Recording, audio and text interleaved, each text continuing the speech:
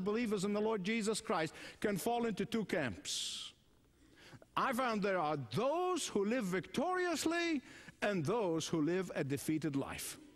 And the secret of victory, according to John, is a total trust in God, a complete confidence in His Word, a, a, an overpowering, unwavering belief in His promises, an unshakable obedience to His instructions. That's the difference.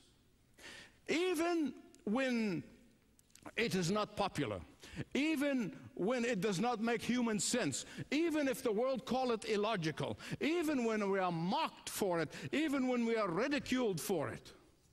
And when I think of the condition of the church today, when I think of, of what is happening in the professing among the professing Christians, I think of the following statement that they may be able to offer sacrifices like Cain, they weep like Esau, they serve like Gehazi, they leave Sodom like Lot's wife, or they tremble like Felix. They may be disciples like Judas. They may have lamps like the ten foolish virgins. They be seekers like the rich young ruler. They may almost be Christians like Felix and are lost.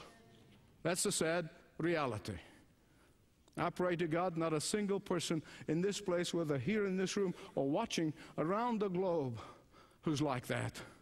Lost and into religion without Christ.